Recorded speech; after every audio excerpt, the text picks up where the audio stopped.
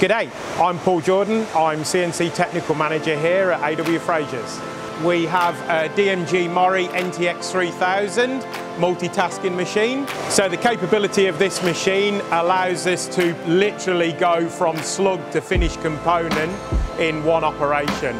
We have a fully integrated tool matrix on it, um, twin spindles with 15 inch chucks, um, so we've got pretty big capacity on these machines.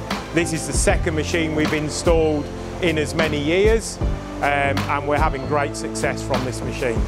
So over the last couple of weeks we've been integrating a new robotic cell on our new NTX 3000, aptly named Lisa um, with the guys from Automated Solutions Australia. My name's Ben Illman and I'm a Senior Automation Engineer at Automated Solutions Australia. So these are 2,000 robots that we've installed have a, a capacity of 270 kilos which means that we can lift around 120 kilos worth of raw material. The process that AW Fraser have here at the moment is the first time that I've done it, where they're putting one big raw slug of material into the machine and the machine's parting off uh, I think up to 12 different discs off this slug. So that was a bit of a challenge coming up with uh, an easy way to integrate that into the existing programs that we have already made.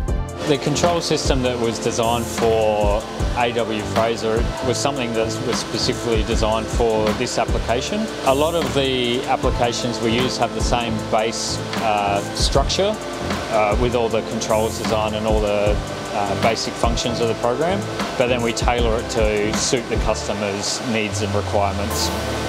Working here at AW Fraser has been a, a really good experience. All the guys here are really knowledgeable and really keen to help out and uh, learn more information and just be with the robots pretty much and learn how they work and all that kind of stuff. So it's been it's been a real treat working here. I'm looking forward to the next couple of installations that happen. So stay tuned.